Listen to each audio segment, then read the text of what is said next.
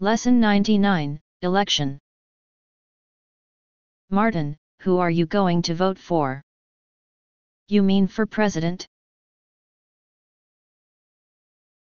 Yes. I'm not sure yet.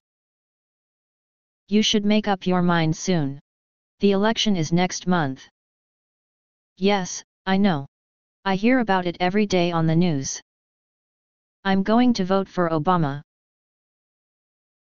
I think he is a good choice, but I think McCain would make a good president also. I know. They're both good. It's hard to decide. McCain is older but he has more experience. Obama seems to have a lot of good ideas, but some people say he wants to raise taxes. I heard he wants to lower taxes. It's hard to know what the truth is. That's the reason I really don't pay attention to politics. Yes, it can be frustrating, but it's important and it's interesting to watch.